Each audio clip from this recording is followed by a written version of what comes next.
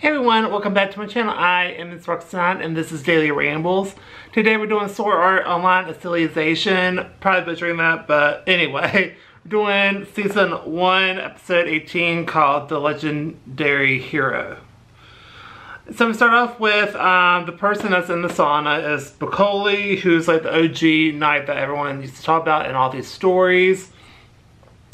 And asks about Finito. And turns out he's the leader of all the knights. So um, they're going to fight.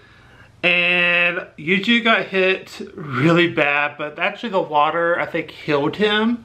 Which I thought was interesting that the water is just self-healing. And then we cut to where he basically sliced the future, Broccoli did. So that's his weapon's um, special ability, that it can literally cut into the future. And then we cut to where the object was a clock. So that's what his uh, sword is made out of. Time, basically. And basically, he never lost to a knight before. and so then, uh, so continues to fight him, then decks him. Then we have a flashback where the cardinal is teaching them uh, the release of the perfect weapon index art, which could be fatal, but he's still going to go for it. Then we got to like the present day or the current uh, thing, and where basically it's round two. Then uh, Eugeo tells them about him, and then he kind of freezes and kind of listens because I think he's always had doubts. Then the jester slash senator comes in, who is such a pain in the in the butt.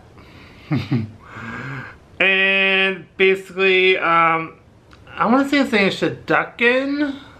And basically, um, usually use his special ability, which freeze, froze him in the water.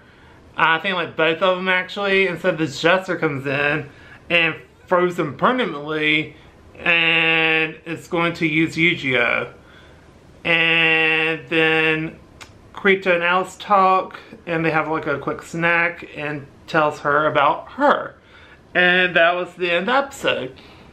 So crazy episode. I really enjoyed this one. I give it a minus. It's just the whole senator thing slash jester or whatever. No.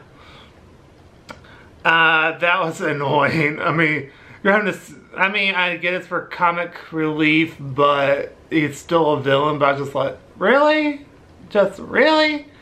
But um, overall, I thought it was a good episode besides that. And that, and the fact that Piccolo had like an open mind about everything. It wasn't just like all these other knights saying like, you're wrong, I'm going to defeat you, bye. So he was actually open to the idea that, you know, maybe what was happening wasn't great. So I really enjoyed this episode a lot and I think that's going to do it for this video. So if you like this video, please go to like, comment down below. Oh, by the way, the fight scenes were outstandingly good. Um, so yeah, anyway, just like, comment, subscribe, and I'll see y'all next video. And I hope y'all have a super awesome day whenever y'all watch this. Bye.